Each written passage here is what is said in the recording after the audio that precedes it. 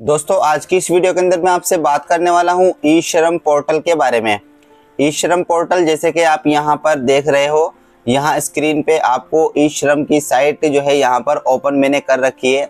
इस वीडियो में मैं आपको बताऊँगा कि अगर आपका ई श्रम कार्ड है आपके पास में और उसके अंदर कोई भी आपको सुधार करना है, जैसे कि उसके अंदर कोई भी अपडेशन आपको करनी है, नाम में गलती है, डेट ऑफ़ बर्थ में गलती है, फादर नेम में गलती है या फिर जो है आपके हस्बैंड नेम में गलती है, या फिर आपकी जो बैंक डिटेल है, वो सही नहीं है, उसमें अपडेशन करना चाहते हो, कोई भी सुधार, कोई भी अपडेशन कोई भी करेक्शन आप करना चाहते हो अपने ई श्रम कार्ड के अंदर, और आप आ रहे हो इस वाली वेबसाइट पर ई श्रम कार्ड की ये ऑफिशियल वेबसाइट है। आप यहाँ पर आने के बाद में अपने ई श्रम कार्ड के अंदर करेक्शन करना चाहते हो, उसमें सुधार करना चाहते हो, और यहाँ जैसे ही आप आते हो तो आपके सामने ये वाला पूरा इंटरफेस आ जाता है, और यहाँ इधर आपको जो है एक ऑप्शन दिखाई देता है अपडेट अब अपडेट पे जैसे हम क्लिक करते हैं कुछ इस तरीके से तो हमारे सामने कुछ ये वाला इंटरफेस आ जाता है, और यहाँ एक एरर हमें दिखाई देता है update profile is temporarily not available on E Shram portal इस तरीके से यहाँ पर हमें ये वाला एरर दिखाई देता है।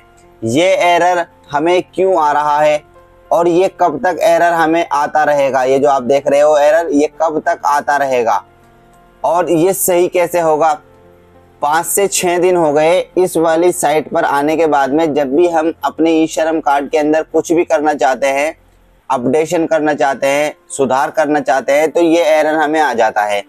अब ये एरर आने के बाद में हम अपने ई श्रम कार्ड के अंदर कोई भी सुधार नहीं कर पा रहे हैं। जैसे कि यहाँ पर आप देख सकते हो ऑलरेडी रजिस्टर्ड एक ऑप्शन होता है यहाँ पर। जैसे हम इस पर क्लिक करते हैं तो यहाँ पर हमारे सामने ये तीन ऑप्शन खुल जाते हैं।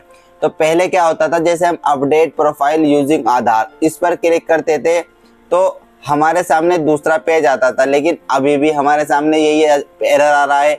तो ये एरर आपको क्यों आ रहा है? सबसे पहले तो आपको ये समझना होगा। ये एरर क्यों आ रहा है? और आप अपने ई श्रम कार्ड के अंदर जो सुधार करना चाहते हो, वो सुधार कैसे होगा, वो भी मैं इसी वीडियो के अंदर आपको बताऊँगा। तो जैसे कि आपने देखा कि ये एरर आ रहा है, कुछ भी कर लो, ये एरर आपको दिखाई दे रहा है। सबसे पहले मैं आपको बताता हूँ, ये एरर आपको इस साइट के अंदर क्यों दिखाई दे रहा है। ई शर्म कार्ड की जो ये ऑफिशियल वेबसाइट है, इसमें जो ये एरर आ रहा है, ये ऊपर से पोर्टल में वर्क चल रहा है, काम चल रहा है। जिस वजह से इस पोर्टल को अभी बंद कर रखा है, आप इसमें कोई भी अपडेशन नहीं कर सकते। अब ये ऊपर से अधिकारियों की तरफ़ से ही हुआ है। अभी इसको चालू किया जाएगा। ऐसा नहीं है कि ये चालू नहीं होगा, ये चालू किया जाएगा, लेकिन इसमें जो है आपको थोड़ा वेट करना पड़ेगा, थोड़ा जो है इसमें आपको इंतज़ार करना पड़ेगा। जैसे ही ये पोर्टल चालू होगा, इसमें अपडेशन चालू होगा, हम वीडियो बना करके भी आपको बता देंगे कि ये चालू हो चुका है। अब आप जो है अपना काम कर सकते हो। तो जैसे कि आपने यहाँ पर ये देखा, ये एरर आ रहा है और ये चल नहीं रहा है। पिछले चार से पाँच दिनों से इस साइट में यही एरर हमें दिखाई दे रहा है और इस श्रम में हम कुछ भी अपडेशन नहीं कर पा रहे हैं। तो ये ऊपर से ही प्रॉब्लम है। इसके लिए आपको सिर्फ़ वेट करना पड़ेगा और कुछ नहीं है। इसका इलाज सिर्फ़ वेट है। वेट करो और बाकी ज़्यादा जानकारी के लिए अगर आप हमसे बात करना चाहते हो तो इसी वीडियो के डिस्क्रिप्शन में हमारे इंस्टाग्राम का लिंक भी मिल जाएगा। फॉलो करना मैसेज करना। और इसके बारे में अगर आप और भी कुछ जानकारी चाहते हो तो हम आपसे वहाँ पर बात करेंगे इंस्टाग्राम पर और हम आपको वही जानकारी देंगे जो आप चाहते हो, जो आपके मन में सवाल है।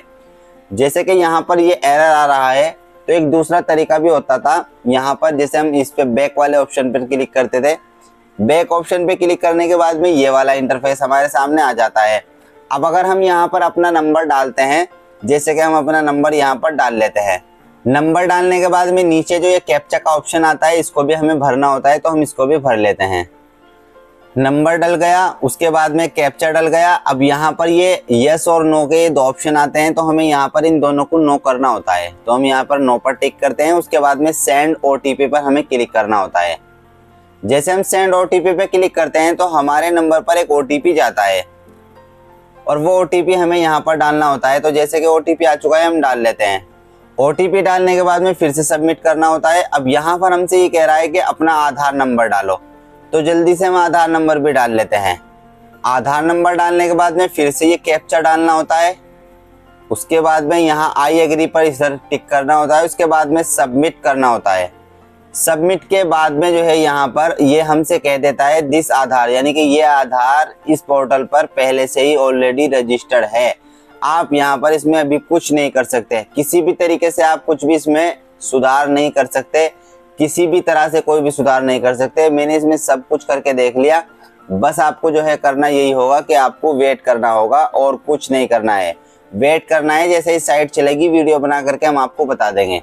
आई होप कि आपको ये वीडियो अच्छी लगेगी। आपको पसंद आए तो इसको लाइक करें शेयर करें। मेरे चैनल को सब्सक्राइब करना ना भूलें। तो मिलते हैं आपसे अगली वीडियो में।